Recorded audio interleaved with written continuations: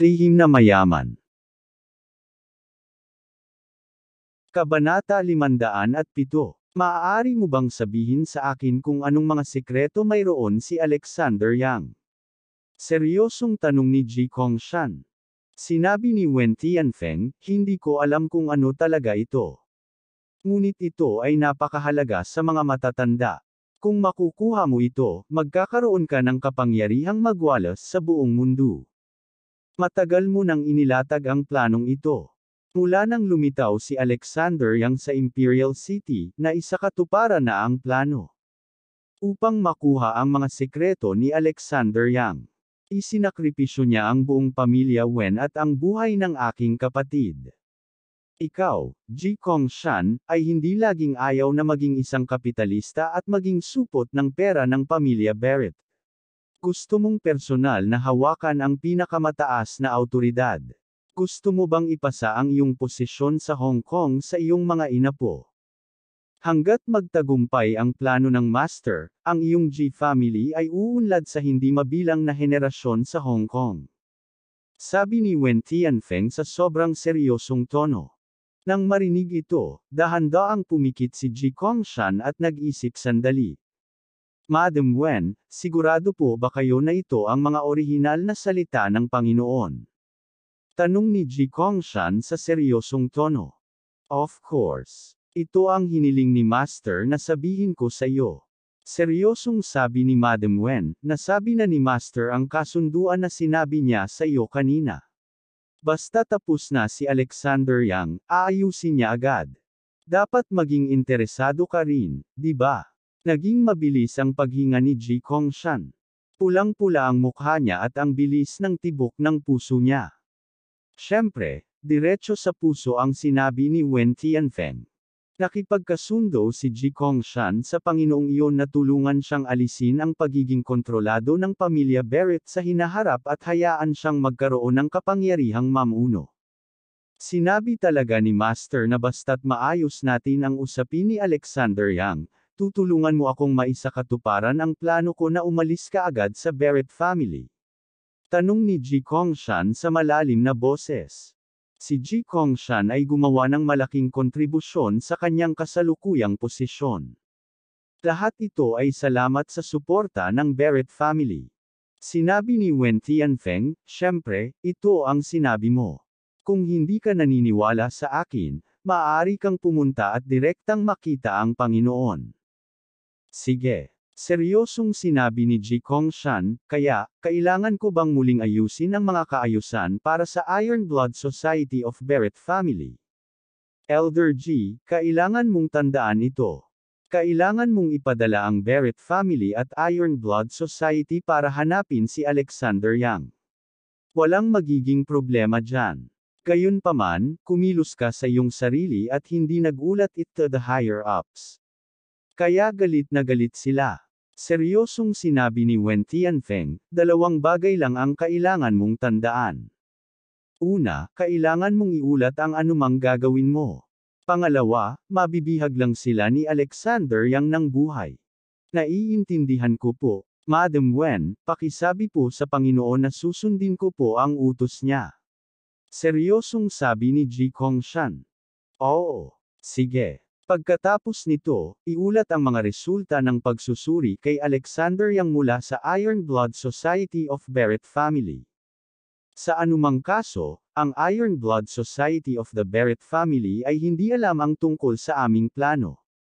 Marahil ay maaari nilang bigyan si Alexander Yang ng maling impormasyon, na nagkakamali sa paniniwalang siya ang pinupuntirya ng nangungunang pamilya ni Brotley.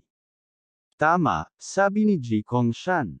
I think so too. Kung mapapabagsak ng Iron Blood Society si Alexander Yang, may iligtas tayo nito ng maraming problema, sabi ni Ji Kongshan.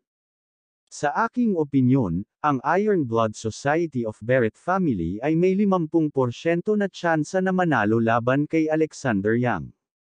Hey, iyan ang sinabi mo noong hiniling mo kay Lungyang ng Yang sect na tulungan ka noong nakaraan. Umisi si Wen Tianfeng, sana lang ay hindi mo hahayaang mangyari muli ang katangahang pangyayari ni Lungyang ng Yang sect at ilagay ang iyong sarili sa panganib. Namula ang mukha ni Ji Kongshan sa pagbanggit nito. Hindi na siya nagsalita pa at ibinaba na ang telepono. Tuldok, Crystal International Building. Sa opisina ng CEO, tumayo si Alexander Yang sa may rehas na nakatalikod ang mga kamay, tinitingnan ang tanawin ng Hong Kong. Ibinaba ni Yehei ang kanyang ulo at lumuhad sa isang tuhod sa likod niya. Mansion Lord, maswerte akong hindi kita nabigo. Nakahanap na ang subordinate na ito ng ilang clue tungkol sa Black Dragon Guard. Sabi ni Yehei na may seryosong ekspresyon. Magsalita ka. Walang ekspresyon ang mukha ni Alexander Yang, at ang kanyang mga mata ay puno ng malamig na liwanag. Yemo, ayon sa impormasyong nakalap ko, pagkatapos na kunin ni G. Gu ang posisyon, nagbago ang sistema ng prefecture. Sa kasalukuyan, ang bagong pinuno ng Black Dragon Guard sa Hong Kong ay tinatawag na Black Dragon King. Siya ang bagong pinuno ng Dragon Guard. Ang Black Dragon King ay misteryoso at makapangyarihan. Ang kanyang pagkakakilanlan ay hindi pa nabubunyag. Siya ay may mahusay na reputasyon sa underworld. Siya ay nirerango sa ikadalawamputwalo sa listahan ng daigdig. Nasuri ko na ang impormasyon ng Heaven, Earth, at Manrangkang. Bukod doon, ang nakaraang labindalawang Dragon Guard ng Dragon Mansion ay lahat ay hinirang na labindalawang Dragon Kings. Lahat sila ay nirerango sa itaas ng Heavenly Rankang Earth Rankang. Hindi ko alam kung saan natagpuan ni Mr. Gu ang isang grupo ng walang katulad na mga eksperto para bumawi sa mga bakanting na iwan pagkatapos niyang patayin ang Dragon Mansion. Black Dragon King. Hey, you dare to name him. Ang mga labi ni Alexander Yang ay pumulupot sa isang malamig na ngiti. Ang impormasyong nahanap ni Yehei ay halos kapareho ng nalaman niya mula kay Lungyang. Si Lungyang ay nasa underworld ng Hong Kong, at narinig din niya ang magandang pangalan ng Black Dragon King. Isa siyang walang katulad na eksperto sa Earth Rank. Nahulaan pa niya na ang Black Dragon King ang pinakamalaking backer ni Ji Kongshan sa Hong Kong. Mansion Lord, mapapatunayan ko talaga na ang Black Dragon King ay may malapit na relasyon sa pinakamayamang tao sa Hong Kong, si Ji Kongshan, pagkatapos niyang manungkulan sa Hong Kong.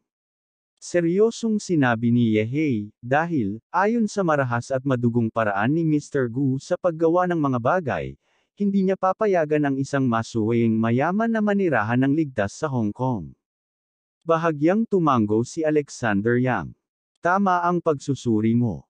Matapos agawin ni G. Gu ang posisyon ng Mansion Lord, binago niya ang kanyang paraan ng paggawa ng mga bagay. Nakalimutan niya ang prinsipyo ng pagiging low profile at hindi nakakagambala sa ibang tao. Ang lahat ay pareho. Ang hindi sumunod ay papatayin. Sa makatuwid, nakumpirma na na ang misteryosong figure na nakatayo sa likod ni Ji Kongshan na kayang sugpuin ang secular na mundo ay si Black Dragon King. Kaya lang medyo malansa ang usapin. Tila, ayon sa lahat ng mga palatandaan, alam ng Black Dragon King ang kanyang pagkakakilanlan bilang Mansion Lord of the Dragon Manor, ngunit hindi niya ginamit ang mga puwersa ng underworld para kumilos ng padalos-dalos. Mukhang hindi man lang nagsumbong ang Black Dragon King kay Mr. Gu. Kung hindi, hindi si Ji Kongshan at ang iba pang maliliit na fries ang dumating upang labanan siya, ngunit ang buong Dragon Prefecture ang dumating upang labanan siya. Ito ay magiging isang mundong nanginginig at nakakasira ng lupa na labanan sa Hong Kong. Mayroon lamang isang paliwanag para sa kakaibang hindi pangkaraniwang bagay na ito. Naunawaan na ni Alexander Yang ang lahat. Sinisikap ng Black Dragon King na sibakin ang mga sekreto sa kanyang katawan, ang pamana ng Old Mansion Lord. Si Alexander Yang ang pinaka-orthodox na inapo ng Long family. Ang tunay na Mansion Lord ng Dragon Prefecture. Sino ang taong nakaalam ng sekretong ito sa Underworld? Hindi ba siya matutukso sa mana ng Dragon Mansion? Ito ang dahilan kung bakit determinado si Alexander Yang na huwag pumasok sa secular na mundo at pumasok sa martial world bago niya matutunan ang divine skill. Ang pamana ng Dragon Mansion ay sapat na para mabaliw ang buong Underworld Circle at lumikha ng mga madugong bagyo. Higit pa rito, ang martial arts na nilinang ni Alexander Yang ay may nakamamatay na kapintasan bago niya pinagkadalubhasaan ang divine power. Alam ng lahat ng nasa itaas na echelon ng Dragon Mansion ang kapintasan na ito. Abangan ang susunod na kabanata.